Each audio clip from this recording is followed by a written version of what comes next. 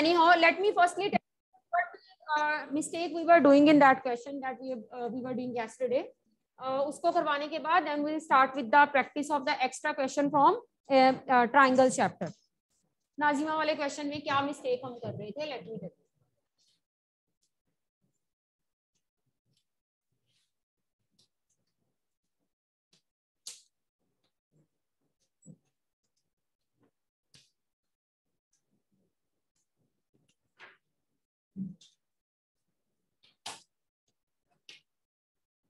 ये हमने निकाला था it comes out to be कितना आया था? थ्री थ्री मीटर्स आया था।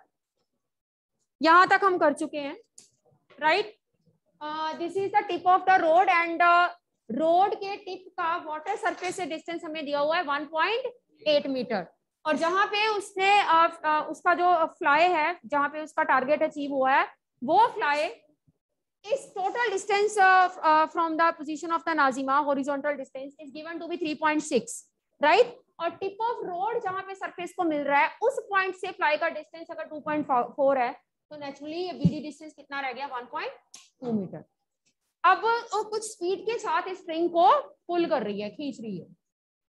किस स्पीड के साथ खींच रही है? At the rate of five metre per second ये भी हमने कर लिया था। एक सेकेंड में फाइव मीटर और हम निकालना चाहते हैं। सॉरी सेंटीमीटर ट्वेल्व सेकेंड में sixty centimetre that is zero point six metre ये किया था हमने ना। अब यहाँ पे थोड़ी सी हमने प्रॉब्लम हमने गलती की थी। I am telling you what the mistake we were doing yesterday जब उसने इस स्ट्रिंग को पुल किया एसी स्ट्रिंग को जब उसने पुल करना शुरू किया इतनी लेंथ उसने 12 सेकंड में जो है वो पुल कर ली। 0.6 मीटर उसने पुल कर लिया। यानी कि बचा कितना? 3 minus zero point six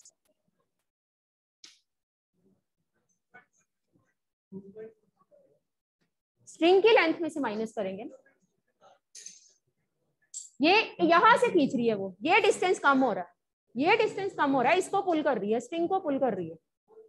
जब ये इसको रोड को खींचेगा तो स्ट्रिंग पुल होगा।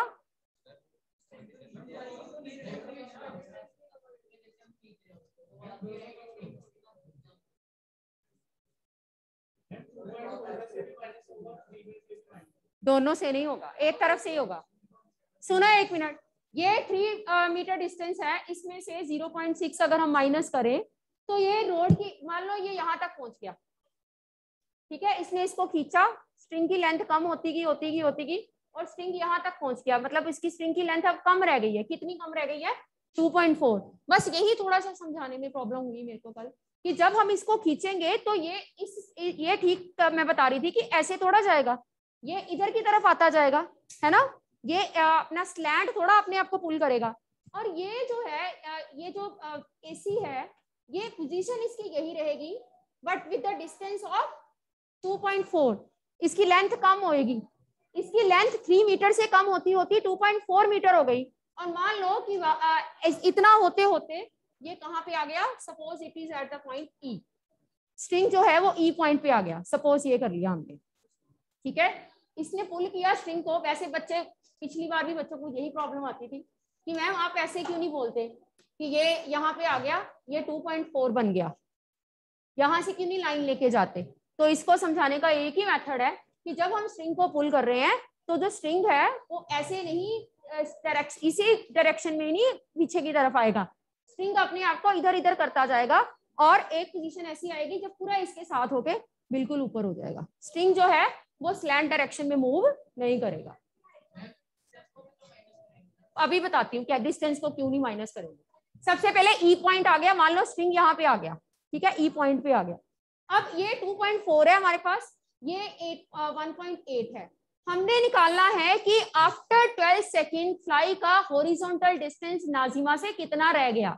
पहले जो 3.6 था, अब वो कितना रह गया?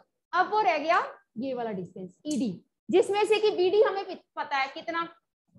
1.2 and this EB is to be find out, and that will be find out by using Pythagoras theorem in the triangle ABE. ABE triangle में Pythagoras theorem को यूज़ करते हुए हम क्या करेंगे? इस वैल्यू ऑफ़ बीई फाइंड करेंगे। चलो लिखो। In triangle A BE square this is equal to hypotenuse square minus perpendicular square 2.4 का स्क्वेयर 1.8 का square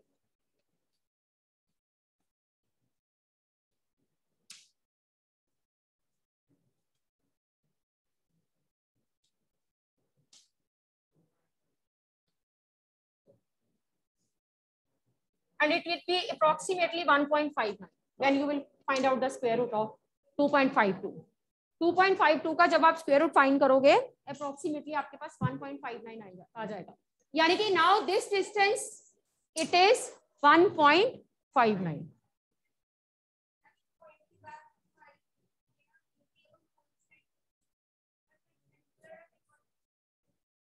equal भी नहीं ना होगा, फिर डिस्टेंस भी तो कम कर होता जाएगा ना। कंसाइड जब ये कंसाइड करेगी तब वो पूरी तरह से बाहर आ जाएगा स्ट्रिंग यही तो बात है। जैसे जैसे ये डिस्टेंस कम होगा आपको मैंने आ, याद होगा टी रेशियोज की जब एंगल्स की वैल्यू बताई थी। जैसे जैसे डिस्टेंस कम होता जाएगा उसकी एंगल की वैल्यू ज़ीरो हो जाती थी। Same here right so this is 1.59 अब हमारा होरिजोनटल डिस्टेंस जो फ्लाई का है uh, नाजिमा से let us see what it will become horizontal distance now it will become eb plus pd eb you have find out 1.59 and this is 1.2 2.79 meters is the answer.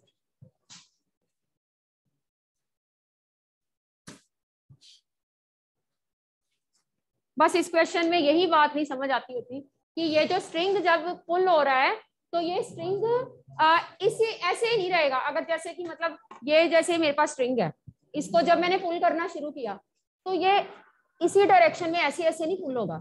String को पुल करते करते string इधर इधर की तरफ़ आता जाएगा। मतलब it will consider it will remain you can say associated और attached with the water surface only चलिए so as i told you earlier that uh, we will start with the mcqs or the extra questions from triangle chapter only ताकि मैं पता चले कि triangle में से कैसे चैप्टर क्वेश्चन आने हैं।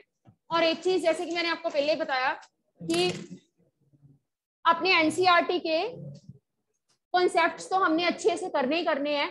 अगर आपको लग रहा है कि इतना टाइम नहीं है कि मैं कौन सी एक्स्ट्रा बुक करूँ, कौन सी छोड़ू तो आप एनसीईआरटी एग्जाम्पलर जो है, उसको कर लो। That will be better for you क्योंकि कोई ना, कुछ ना कुछ क्वेश्चन एनसीईआरटी एनसीईआरटी एग्जाम्पलर में से एज इट इज़ होंगे ही होंगे।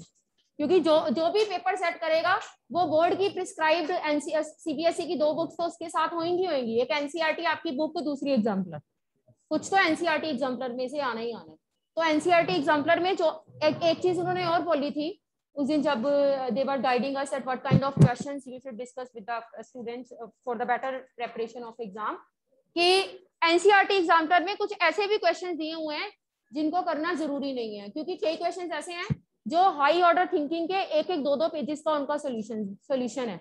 तो उनको हम अगर निग्लेक्ट भी कर दें कोई फ़र्क नहीं पड़ेगा। बट कुछ क्वेश्चन ऐसे हैं जिनका सोल्यूशन सिर्फ़ एक लाइन का है।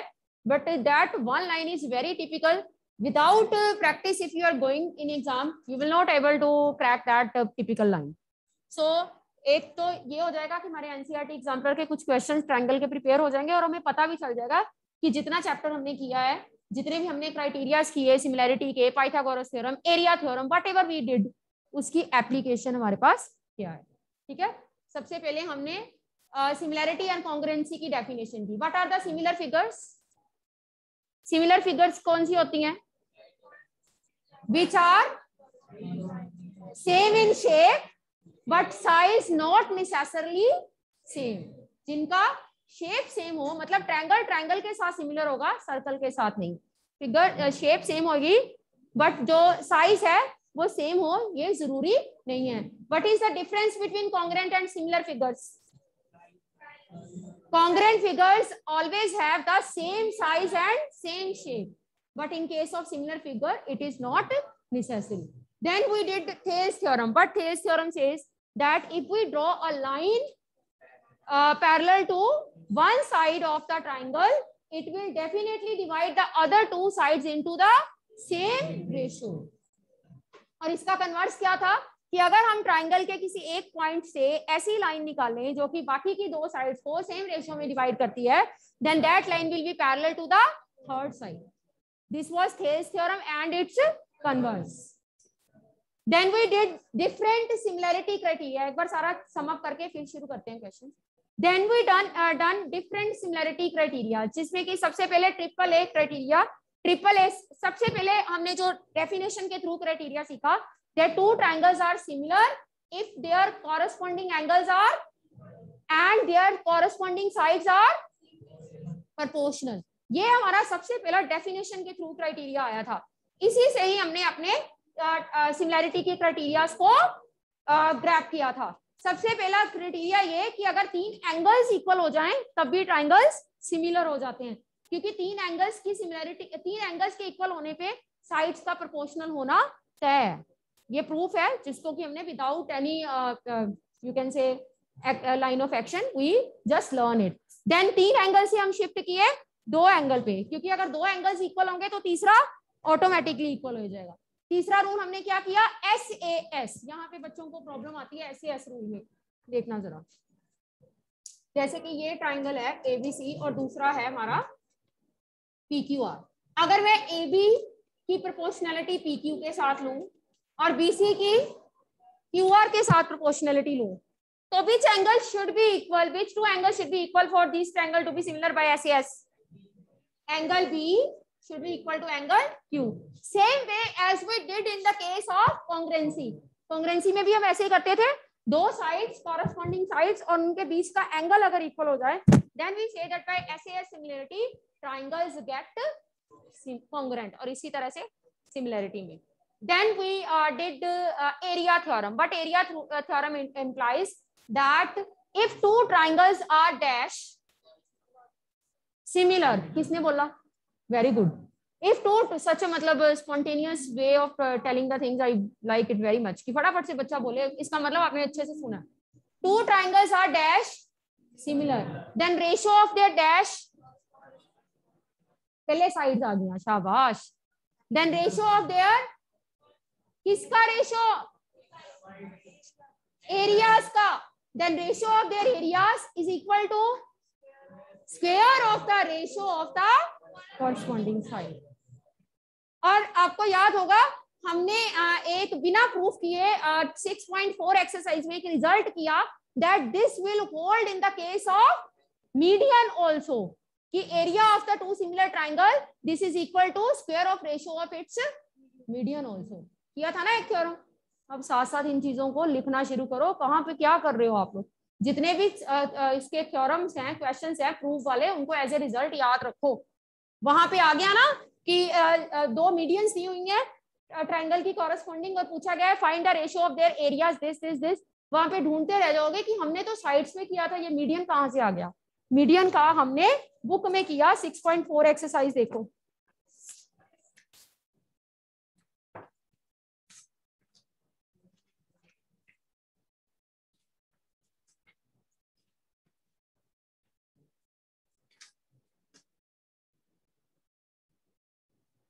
prove that ratio of areas of two similar triangle is equal to the square of ratio of their corresponding medians question number 6 right और मैंने आपको बोला था एरिया की रेशो हो या फिर पेरीमीटर की रेशो हो। उधर से भी चेंजेस थी कि ये रिज़ल्ट पेरीमीटर के केस में भी क्या होता है?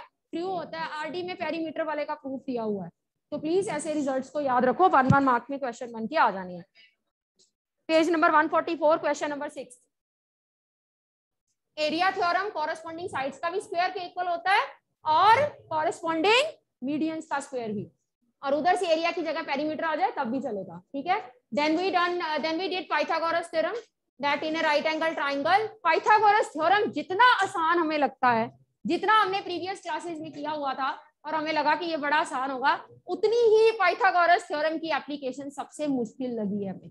6.5 एंड 6.6 करते करते धुएँ निकल गए कानों में कि ये हो गया रहा है राइट ना? सो पाइथागोरस थ्योरम की एप्लीकेशन सबसे मुश्किल है, और उसमें से क्वेश्चन पक्का आने हैं। तो इसका मतलब हम 6.5 और 6.6 को निग्लेक्ट नहीं कर सकते। 6.5 करते हुए हमने बहुत से ऐसे क्वेश्चंस किए, जिसमें कि, जो कि एज इट इज़ रिज़ल्ट है। पहला रिज़ल्ट अगर एक राइट एंगल ट्राइंगल की वर्टेक्स से ऑपोजिट साइड पे परपेंडिकुलर डालो triangle is divided into two right angles which will be similar to each other and the bigger triangle very important result बहुत बार। और इस रिज़ल्ट की एप्लीकेशन आपने देखा होगा 6.5 के पहले पहला क्वेश्चन छोड़ के पहले चार क्वेश्चन इसी रिज़ल्ट की एप्लीकेशन पे बेस्ड हैं। जिसको ये रिज़ल्ट आता है, वो फटाफट बता देगा कि किसकी प्रोडक्ट किसके स्क्वायर के इक्वल है। This is very important result right फिर उसके बाद पाइथागोरस थ्योरम का कन्वर्स कि अगर लॉन्गेस्ट साइड का square sum of the smallest two sides के स्क्वायर के इक्वल हो then that triangle is going to going to be a right angle triangle फिर बहुत से हमने क्वेश्चंस ऐसे किए जिसको हमने एज ए रिज़ल्ट याद रखा। That in case of rhombus sum of the squares of the sides is equal to the sum of the squares of its diagonals and similar thing will hold in case of parallelogram that is due to exercise 6.6 right फिर हमने question किया that in equilateral triangle three time the square of the side is equal to the four time the square of its altitude बहुत से ऐसे result हमने किए जो कि आपको एज इट इज़ याद रखने होंगे जितना मैंने बोला है ना इसमें से आपको दो क्वेश्चन दो नंबर तो पक्का मिलेंगे मिलेंगे। तो ऐसी चीज़ें please it should be on your tips अच्छा एक और चीज़। एक्सरसाइज 6.5 में जो हमारे पास क्वेश्चन नंबर नाइन्थ से लेके ट्वेल्थ क्वेश्चन है नाइन्थ से लेके twelfth question they all are the application of Pythagoras theorem and moreover, they are the calculative questions. They are not the questions in which we have to prove something. Similarly आपको 6.5 exercise के कुछ examples भी ऐसे मिलेंगे, जिसमें ladder की length दी हुई है विंडो की हाइट निकालनी है लाइक like दैट तो ऐसे क्वेश्चन टिप्स पे कर लो। एक क्वेश्चन हमने किया था 6.4 एक्सरसाइज का लास्ट जिसमें हमने ए ए सिमिलरिटी से शेडो पता नहीं शेडो की हाइट फाइट की थी और पोल की। याद है? कौन से सिमिलरिटी क्राइटेरिया से ट्रायंगल्स को सिमिलर किया था? एंगल एंगल एक एंगल हुआ था 90 डिग्री दूसरा सन्स ऑल्टीट्यूड ऐसे क्वेश्चन प्लीज़ इनको अपनी टिप्स पे ऐसे ही रखो। देखो, ये ये ये रिज़ल्ट देखो बाय हार्ट मुझे भी नहीं याद था कि देखो आप question number 15 very important result page number 151 पे।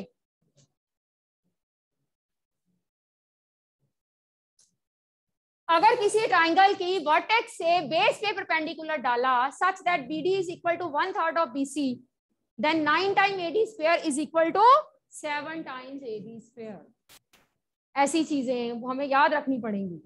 एक मिनट।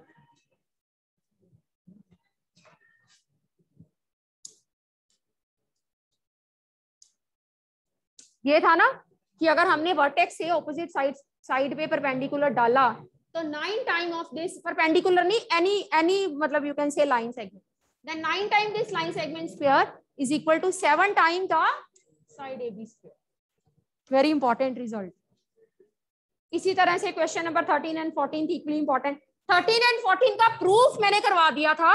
एक बार इसकी प्रैक्टिस कर लेना, क्योंकि थर्टीन एंड फोर्टीन रिज़ल्ट ऐसे हैं जो कि बाय हार्ट आपसे याद नहीं होंगे। मुझे भूल जाएँगे अगर मैं आप पढ़ा रही हूँ, शाम को मेरे से कोई पूछे इसमें क्या रिज़ल्ट आएगा। एक डायरेक्टली मैं भी नहीं बता पाऊँगी, मुझे भी प्रूफ करके देखना पड़ेगा। तो इनके प्रूफ टिप्स पे रख लो। ये जो लास्ट दो रिज़ल्ट है, इनको लर्न करने की कोशिश कर लो फिफ्टीन सिक्सटीन को। ठीक है?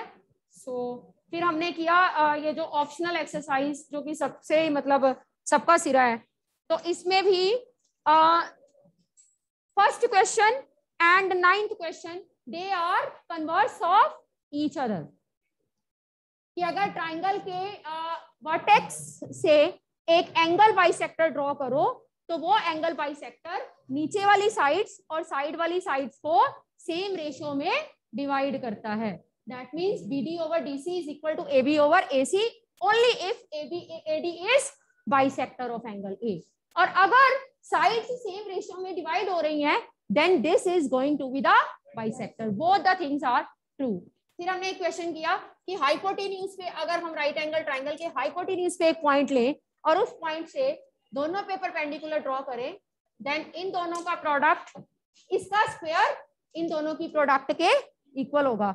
सिमिलरली इधर से इस परपेंडिकुलर का स्क्वायर इन दोनों की प्रोडक्ट मैंने आपको बोला था, ये वाला साइन याद रखो। ठीक है? ये रिज़ल्ट भी आपको एज इट इज़ याद रखना पड़ेगा।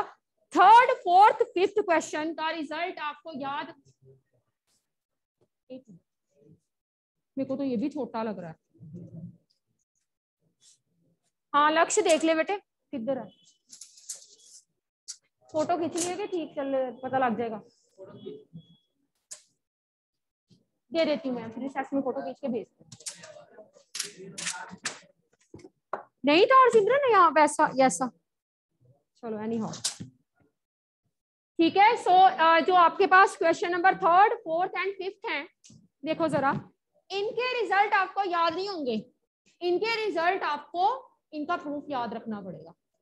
एक हमने किया था एक्यूट एंगल के केस में एक किया था ट्यूज एंगल के केस में। याद है कि नहीं? अब ट्यूज एंगल के केस में जो इधर वाला ए सी स्क्वेयर था this is equal to square of these two sum of the square of these two and इसमें प्लस था कि माइनस इसमें प्लस था। और एक्यूट वाले में माइनस सिमिलरली नीचे वाले दो result and question number seven equally important की अगर दो कोर्ट सर्कल की within the circle bisect करती हैं तो राइट एंड लेफ़्ट साइड पे बनने वाले ट्राइंगल हमेशा क्या आएँगे? सिमिलर होंगे। ठीक है? एंड अकॉर्डिंगली सिमिलर भी होंगे और प्लीज़ इंटरसेप्टिंग पॉइंट पे जो इंटरसेप्ट बन रहे हैं, उनका प्रोडक्ट भी क्या होगा? इक्वल देखो जरा 153 पेज पे। 153 पेज पे सेवंथ क्वेश्चन का सेकंड पार्ट सेवंथ क्वेश्चन का सेकंड पार्ट सिमिलर वैसे तो इसको हमने सिमिलैरिटी के थ्रू बता दिया that AP into PB is equal to PC into PD similarity से बताया। अगर हमने रिज़ल्ट याद रखना हो तो हम कैसे याद रखेंगे? कि सर्कल में अगर दो chords within the circle intersect कर रही हैं तो जो कोड्स के प्लीज़ लिसन कोड्स के जो दो रिस्पेक्टिव इंटरसेक्ट बन रहे हैं, one is AP another is PB their product is equal to the product of the other intercept that is CP into PD very important result. हाँ बताती हूँ बताती हूँ। हाँ फिर हमने रिज़ल्ट किया कि अगर दो कोर्ट सर्कल की एक्सटर्नली मीट करती हैं, if two chords of a circle meets externally, एक मिनट, मुझे नेम वही लिखने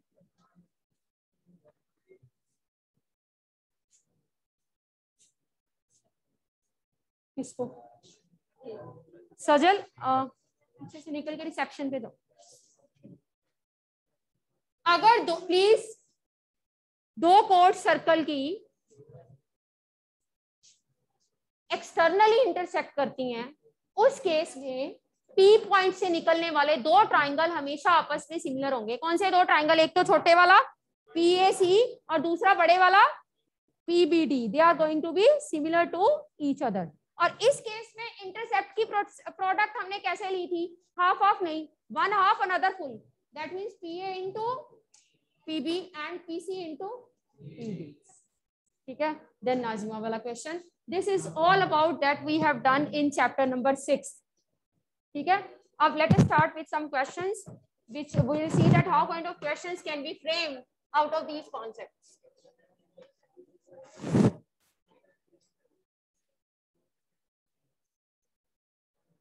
in case of cyclic quadrilateral one external angle is equal to the opposite interior angle. और ये हमारा सिमिलरिटी का सेकेंड ए निकालने का मेथड था। राइट चलिए let us start the questions. Length of the diagonals of the rhombus there is a rhombus जिसके diagonals हमें दिए हुए हैं। 16, and 12 centimetre we want to find the length of the side ये तो हमने एट्थ में भी किया हुआ है। Length of uh, diagonals हमें दिए you know that the diagonals of rhombus they are not equal but they bisect each other at 90 degree. तो so, ये आधा हो गया हमारे पास एट और ये आधा हो गया six they are bisecting at 90 degree perpendicular so ये बना Pythagoras theorem directly application of Pythagoras theorem theorem and using Pythagoras theorem AB comes out to be 10 note करते जाओ साथ साथ क्वेश्चंस थोड़ा थोड़ा hint hint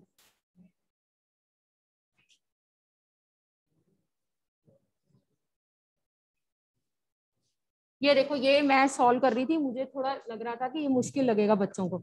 ABC triangle DE DE F triangle के similar है. Then which of the following is not true into E F AC into FT, AB into EF, AC into DE, BC into DE, AB into EF, BC into DE, AB into FT. Which of the following is not true?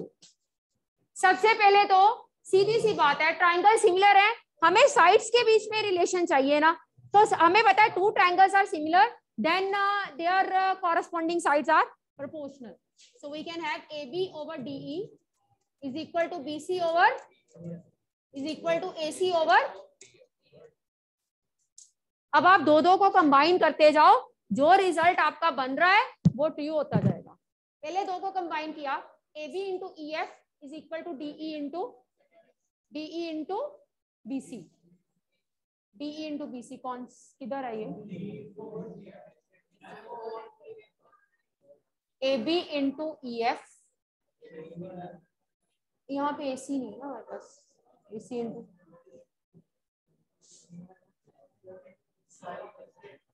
बिल्कुल ठीक है ये भी result बन रहा है। देखो ध्यान से A B upon A C is equal to D E upon D F वहाँ से ये निकल जाएगा। ए बी अपॉन ए सी अगर हम करें this is equal to D E upon D F नहीं नहीं नहीं ई एफ़ नहीं। डी एफ़ होएगा। एक मिनट रुको। साइड्स के साथ अगर हम सारे नहीं इक्वल सारे गलत नहीं है। एक मिनट एक मिनट देखो ट्राइंगल का नहीं। A B C is similar to sorry E D F है ये गलत है। स्टेटमेंट गलत लिखी अब देखो ए बी और हंस लो थोड़ा। B C over D F C over D F अब देखो A B into D F फिर मेरे को देखने बी इंटू डी एफ़ वाला है क्या बी को अगर हम एफ़ से मल्टीप्लाई करें बी सी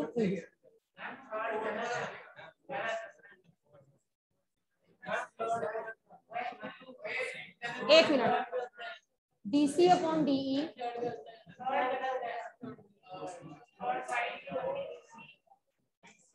हाँ थर्ड ही गलत है। देखो अगर हम रूल आउट ऑप्शन एक मिनट अगर हम रूल आउट ऑप्शन से देखें तो ट्राइंगल की डीसी साइड ही नहीं बन रही। है ना? तो this one will be the rule out option not true बाकियों को आप करके देखना दो दो साइड्स लेके दो की प्रोडक्ट बाकी दो की प्रोडक्ट के इक्वल आ जाएगी। दिस वन इज़ लाइक जिसमें कि डीसी जो है वो ट्राइंगल की साइड ही नहीं बन रही। सो so, इसको हम रूल आउट कर next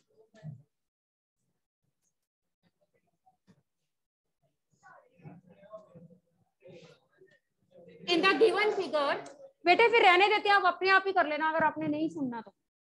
बेटर है फिर। जैसे आप हंस रहे हो ना ट्राइंगल चैप्टर के क्वेश्चन जब आएँगे, ऐसे हँसते हँसते बाहर आना फिर। I except this thing from you people ठीक है, अंशिका? ऐसे हँसते हँसते बाहर आना। चलिए यस सो हमारे पास क्या गिवन है? In the given figure A C and B D they are intersecting at the point P such that this P A This is equal to 6 centimeters and uh, PB is equal to 3 centimeter. PC is given to be 2.5 centimeter and PD is given to be 5 centimeter. Angle APB, this is equal to 50 degree and uh, angle CDP this is equal to thirty degree we want to find angle PBA तो सबसे पहले हमें दो triangles को similar prove करना पड़ेगा। पहली बात तो ये कि ये जो है, ये 50 वर्टिकली ऑपोजिट एंगल एक ही एक ही एंगल हमें गिवन था तो ये उसके इक्वल हो गया। अब ये वाली साइड्स की रेशियो निकालोगे it will be equal proportional आ जाएगी। सिक्स बाई फाइव इसका आंसर भी सिक्स बाई फाइव आ जाएगा। इसका मतलब एपीडी एंड सीपीडी दोनों क्या आएँगे सिमिलर हो गए। जब सिमिलर हुए तो corresponding angles will be equal इसका एंगल डी और इसका एंगल बी कितना हो गया? थर्टी। हम निकालना चाहते थे पीबीए तो PBA come to be thirty. हाँ? एक मिनट। डी किसको कॉरेस्पॉन्ड कर रहा है? बी को कर रहा है। एक minute. AP by AP B AP by PD. This is equal to CP by PB by CP यही है ना? एपी की वैल्यू सिक्स PD की value five six over five instead of talking to each other try किया करो साथ साथ ये हमारे पास पीबी की वैल्यू कितनी है? थ्री और सीपी की 2.5 ये थर्टी बाई ट्वेंटी फाइव हाँ यही बन रहा है। एपी भी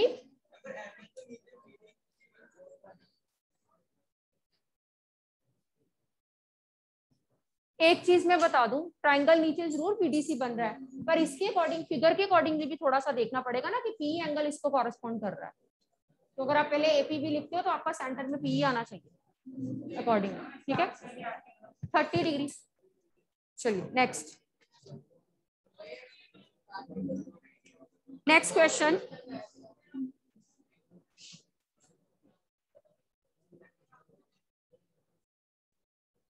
if in triangle ABC and triangle DEF angle B is equal to angle E एक मिनट मैं स्टेटमेंट नोट कर दू? अपने आप ट्राई करना। B is equal to E, angle F is equal to angle C and AB is equal to 3DE. Then triangles are congruent but not similar करो note सोचना फिर. कॉन्ग्रुएंट इस कंडीशन के साथ triangles are congruent but not similar similar but not congruent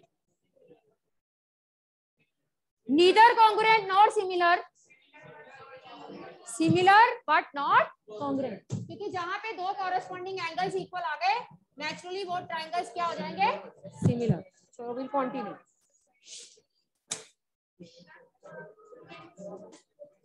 Yashit Tripti Jayaditya Bhumika